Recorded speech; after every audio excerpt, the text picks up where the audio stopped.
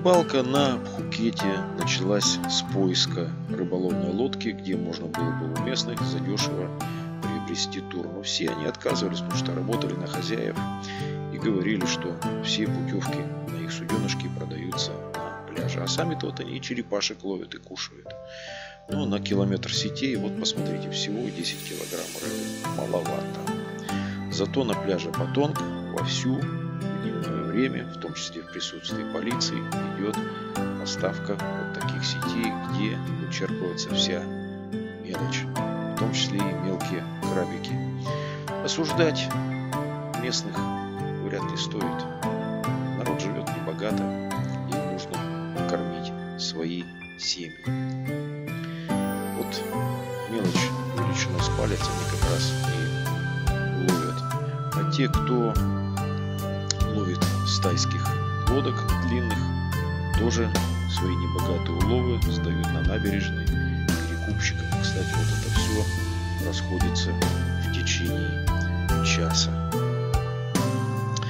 Посмотрев на все эти дела, я решил самостоятельно порыбачить фидерной удочкой на пляже Потомка.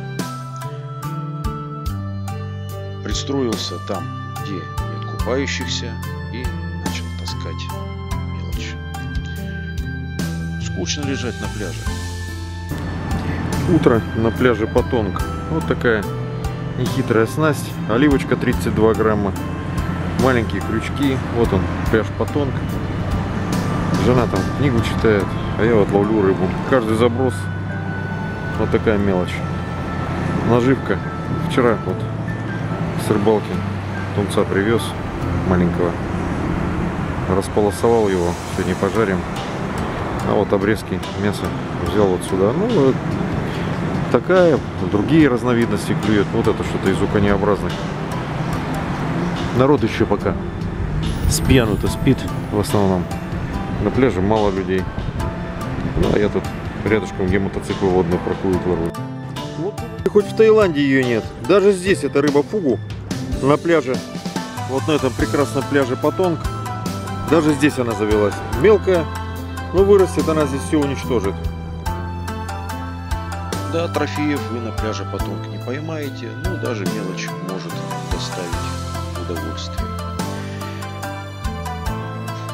На Пхукете масса туристических агентств, в том числе и с русскоговорящим персоналом, который что только вам не придет. Нам посоветовали обратиться в кафе «Апельсин», где и его сын хорошо говорят по-русски, как нам сказали, не обманут. В принципе, они нас и не обманули. А вот других турагентствах, посмотрите, и марлинов, и барракут, и дорады, чего только вам не предложат. Однако, когда я спросил, как же с такого небольшого катера будут ловить одновременно 10-12 человек, ведь мы же перепутаем снасти, все продавцы экскурсий прятали хитрые глаза, ухмылялись, чуть-чуть хохотали и разводили руками. Ну, вот мы приобрели э, в апельсине рыбалочку на пруду. Хозяин как-то нас вбил в эту машинку 8 человек и привез к себе гости.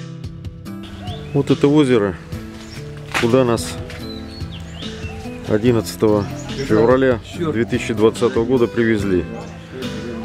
Вот. Обещают 20 или 30 сортов вернее, не сортов, а более правильно сказать, видов рыбы. Пока мы здесь одни, пока, может еще кого-нибудь привезут. Хозяин озера показал нам по фотографиям, что здесь можно поймать, но когда спросил, как же на хлеб ловится панцирная щука, он просто засмеялся. Сказал, что вот, посмотрите на этот плакатик, как повезет.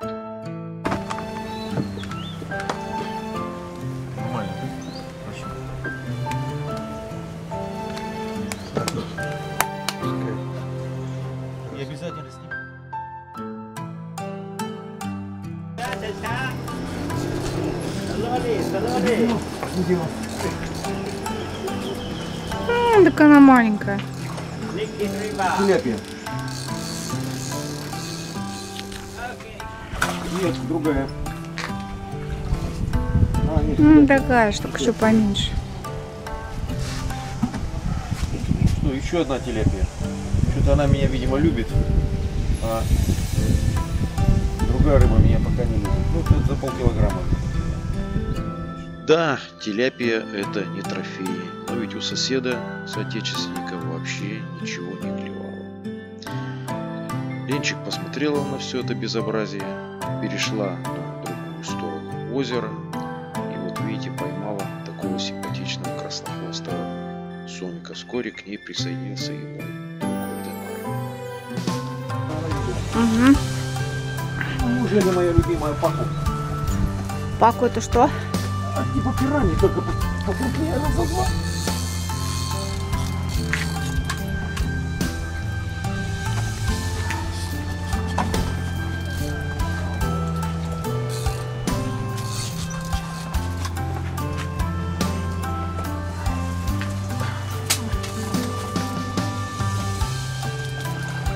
Анекдот. Ох, Грейс Фишер.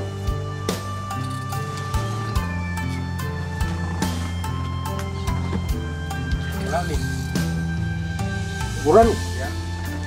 Что, теляпия? Опять теляпию, что I ли? have a gurami in aquarium А, in my home. О, как хороший. Yes. Так, Саш, мне новое видео снять или это?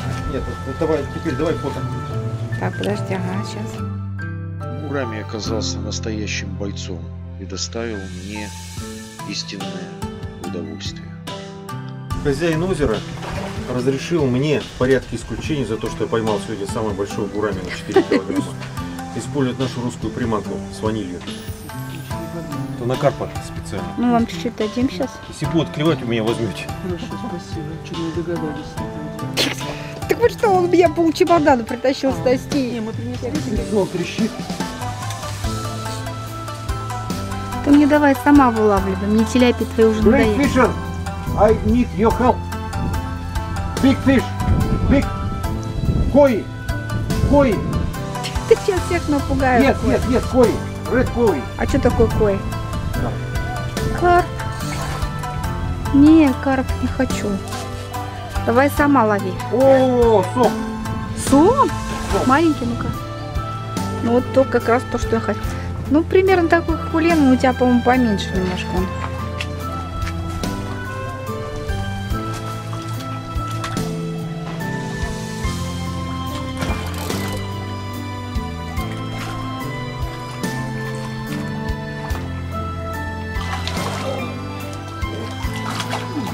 Фи, какой шустрый. Big.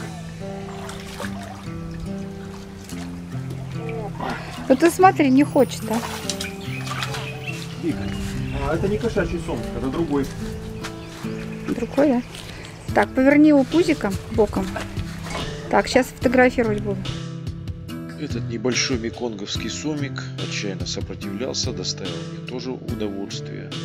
А вот на такую снасточку все рыбачили. Непонятно, как мы вообще на нее ловили что-то.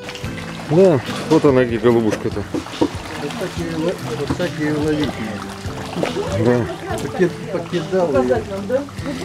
Нет, ну это то же самое, что свиней в загоне стрелять. Это не спортивно.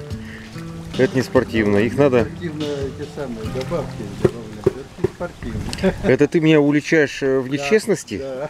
Вальдемар? Это друзья. Итог рыбалки. 5 рыбок у меня, 3 у Ленчика, 3 у Вальдемара, 2 у француза и ни одной у нашего соотечественника. Рыбалку на катере мы приобрели также в апельсине. Нас привезли с утра на пирс Чалонг. Провезли по этому километровому пирсу. Вдали, вот видите, сидит Будда на горе.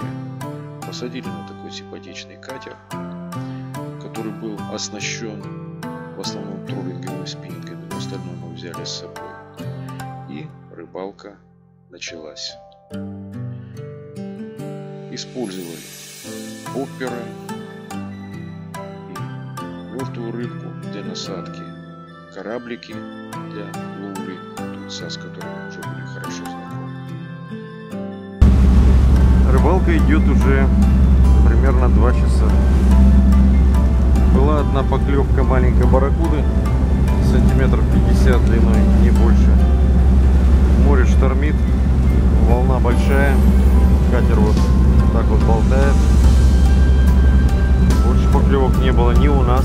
Вот еще рядышком идет один катер. Мы за ними следим. Там была тоже одна поклевка, но они, по-моему, ничего не вытащили. Если бы вытащили, было бы видно. Шторм. Два часа затишья. Мы загрузили. Но вдруг сработал фрикцион у одного из. Ну давай мы его хотя бы сфотографируем, а потом отпустим. Да я и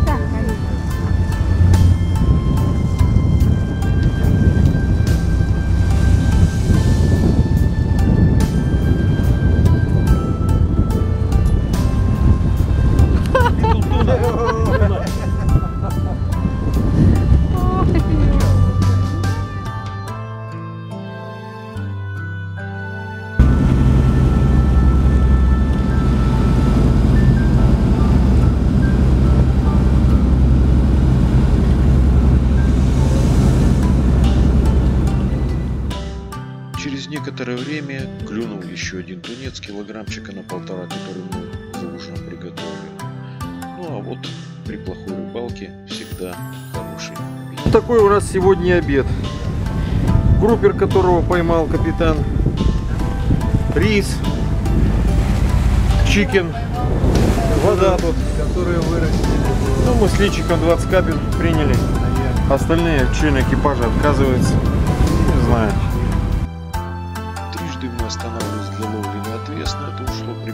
2 часа. Но ветер беспощадно тащил катер и даже груз, который я прицепил, 600 грамм, не помог. Только в половине шестого вечера стих ветер.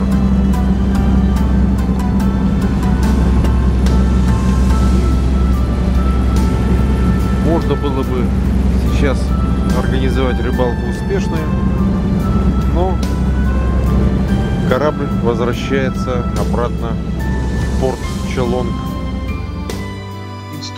Инструктор Якуб и капитан отработали на все сто. Мы поблагодарили их чего.